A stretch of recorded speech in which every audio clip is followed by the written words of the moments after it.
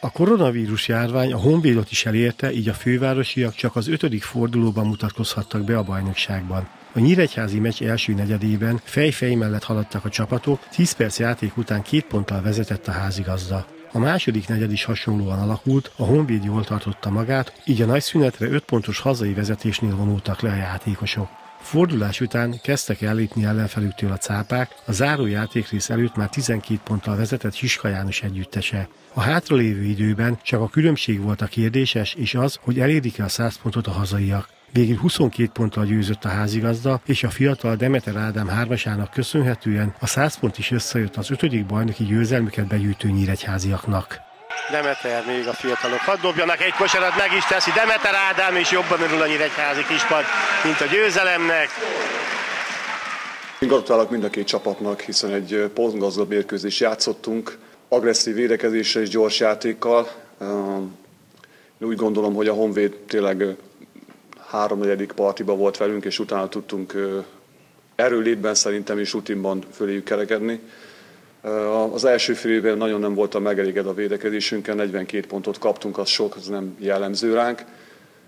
A másik fél idő már kicsivel jobb volt, még mindig nem vagyunk elég agresszívak védekezésben, annak viszont örülök, hogy tudtunk végre 100 pontot dobni. A vendégek edzője elsősorban annak örült, hogy a 6 hetes kényszerszünet után végre meccset tudtak játszani, és egy ideig tartani tudták a lépést a hazaiakkal.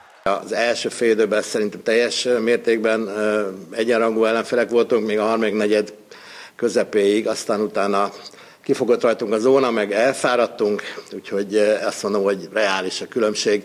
Mm, én, én a saját csapatom teljesítményet azt pozitívnak értékelem, megyünk tovább, aztán majd előbb-utóbb behozzuk magunkat. A találkozó legeredményesebb játékosa a 23 játékperc alatt 29 pontig jutó Mohácsi Máté volt. Én sokkal többet kaptam attól, amit vártam azért egy ilyen kényszerpihenő után. Nagyon jól bírták fizikailag, és ez egy jó dobolforma párosult, úgyhogy meg kellett küzdenünk a győzelemért.